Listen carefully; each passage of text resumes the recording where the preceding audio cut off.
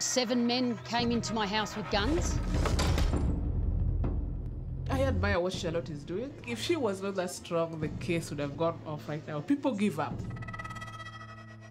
He shoved the gun inside me and said, if you scream, I'll shoot you from here. One of the detectives said to me that no one wins rape cases here in Kenya. The only advice that I was given was to leave the country. That's not fair. The anger in me had started to stir then, so I was like, I am not walking away from this thing.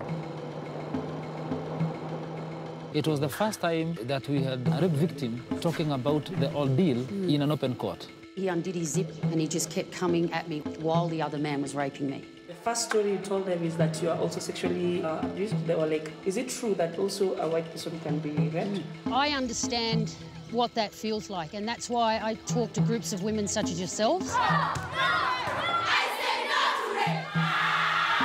It took me that incident to understand my own strengths. They do that every day. Have confidence. You'll win this case, man.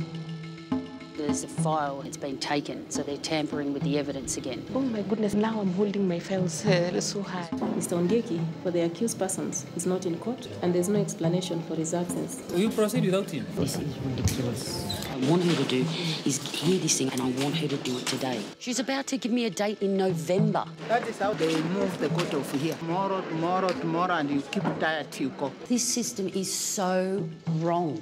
Women don't want to go through this. They've just been through this traumatised incident. Why traumatise themselves again through a court? That is all. that is something that you don't have control over. I can't do this anymore. I try to stay strong for it, but it affects everything in my life. Pain is a temporary thing, but regret is going to last a lifetime.